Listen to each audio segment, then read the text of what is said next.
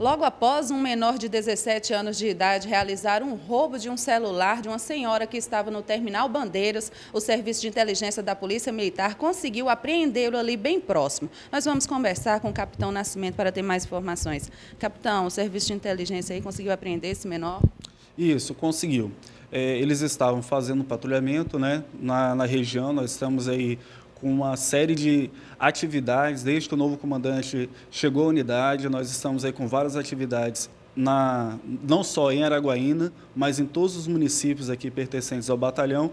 E nessa ocasião, o menor foi bem feliz que ele foi é, efetuar esse roubo, nessa ação, no momento em que a nossa viatura estava passando. Então, assim que ele subtraiu o celular da vítima, a nossa guarnição ali do Serviço de Inteligência estava passando próximo, viu a ação, a equipe já desceu, já abordou ele e já conduziu para a delegacia. Foi, tudo isso foi no mesmo momento, digamos assim.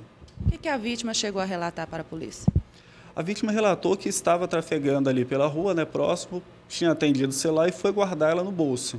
Foi nesse momento que ele foi guardar no bolso, o menor viu, né, pegou esse celular da, da mão dela e saiu correndo chama atenção é que mais um menor aí praticando delitos na cidade.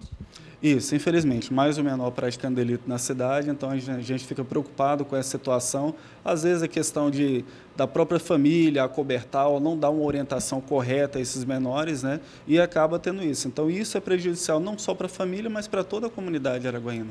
Tá certo, obrigado pelas informações. Está aí mais um menor apreendido e sendo conduzido à delegacia de flagrantes. As imagens são de Marcelo Costa e Stephanie Silva para o programa Fala Comunidade.